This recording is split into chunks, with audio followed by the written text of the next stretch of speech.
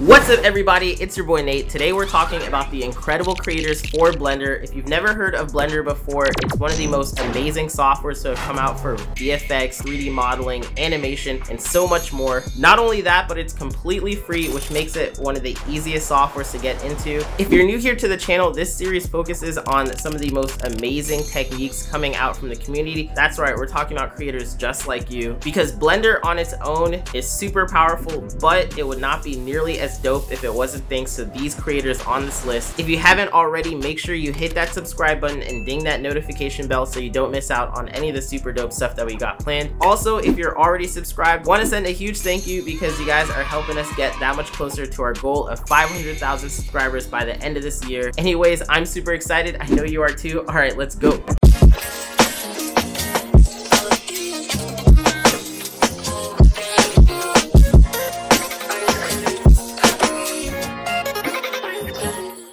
These creators are not in order of importance. They're just too dope to compare like that. But the final three are gonna be the ones that absolutely blew my mind and inspired me the most. So make sure you stick around until the very end so you don't miss out on that one. Anyways, I got the list. Let's hop right in. First up at number 10, here we have one from Yunzhen Ho who creates these amazing 2D to 3D conversions in Blender. So all of these were illustrated first and then converted into 3D using Blender. I love the way that these came out and the use of hand-drawn textures, which is just super impressive. Love your work a lot, and I hope to see more. Next up at number nine, all right, here we have one from Bamboo Pixel, who brings us this zombie sand animation scene from his short film. Now, this is actually a combination of Houdini and Blender. So Houdini was used to simulate those sand particles, and then the rest of this was animated and rendered in Blender. I love how captivating this piece came out, and I hope to see more. Here we have at number eight, user 3 Robots, who creates this awesome donut model and render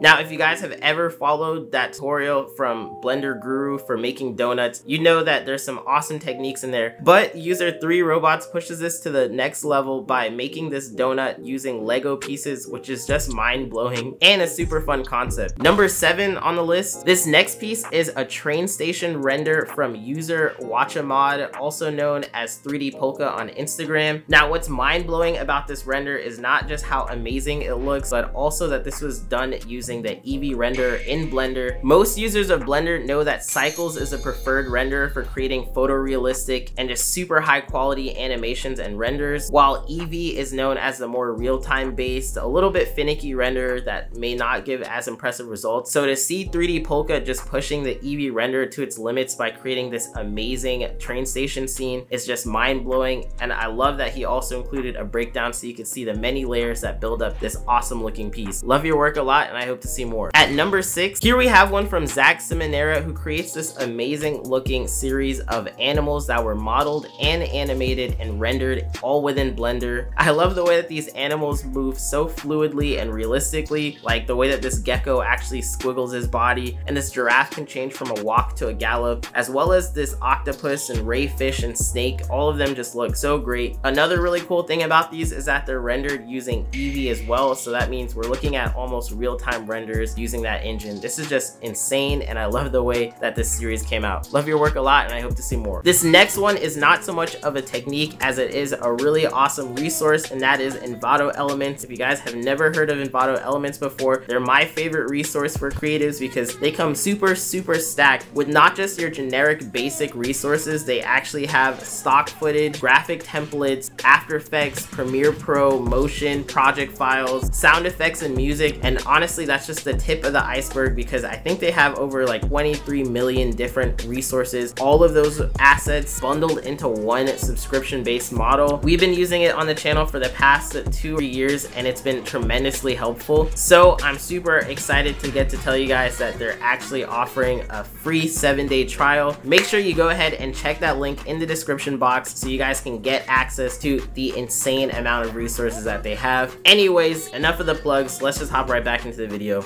All right, we're about halfway through at number five. Yo, okay, this one I'm super excited about. This one is from User Anything, who creates this awesome looking game, which is a combination of Unreal Engine 4 and Blender. This one is called Shooter League. It's a first person shooter basketball game that honestly looks like a mixture of Call of Duty and Rocket League met together to create something awesome. The newest versions of Blender by themselves don't actually have a game engine that was more in the older versions. So the final game engine of this is actually Unreal Engine, but all the models that you're looking at, all those animations are done right inside of Blender, which is pretty mind-blowing to see this combination of two softwares. I'm pretty excited about this one because the developer said it's gonna be a free-to-play game, and just looking at this gameplay footage gets me super hyped because who doesn't love playing with balls?